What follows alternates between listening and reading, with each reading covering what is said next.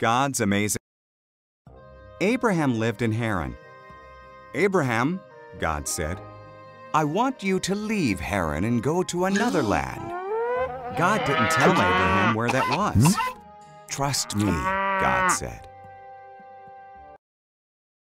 Do this, God said, and your children will become a great nation. How? Abraham wondered. His wife Sarah was too old to have children. Trust me, God said. Go where I tell you, God said, and you will have more descendants than there are stars in the sky. They will bless the whole world. Trust me.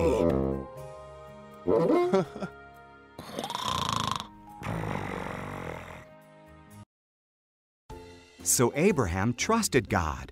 He took Sarah, his nephew Lot, and everything they owned. He went where God told him to go. He went to the land of Canaan. When he arrived, Abraham camped at Shechem. God appeared to him. I will hmm? give this hmm. land to you and your children, God said. Abraham built an altar to God there. Hmm? Abraham traveled around God's promised land. He was glad that he had trusted God. So he built another altar and gave thanks to God for all he had been promised.